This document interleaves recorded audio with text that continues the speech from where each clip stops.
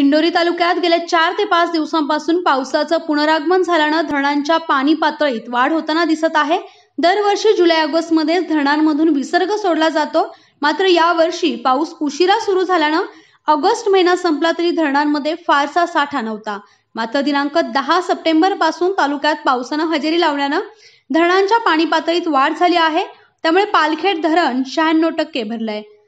सध्या पालखेड धरणातून पाच वक्रदार पंधरा सेमीनं परिचालित करून दोन हजार एकशे साठ घनफूट प्रतिसेकंद इतका प्रवाह कडवा नदीमध्ये सोडण्यात आला आहे अशी माहिती सुदर्शन सानप शाखा अभियंता यांनी दिली आहे. सध्या पालखेड धरणाच्या पाणलोट क्षेत्रात चांगला पाऊस होत असून त्यामुळे पाणलोट क्षेत्रातील नदी व नाल्याद्वारे पाणी येत असल्यानं धरणात पाण्याची आवक वाढली आहे. त्यामुळे दिंडोरी व निफाड तालुक्यातील नदी काठच्या नागरिकांना सतर्कतेचा इशारा देण्यात आला आहे. न्यूज फिफ्टीन मराठीसाठी बापू चव्हाण दिंडोरी नाशिक.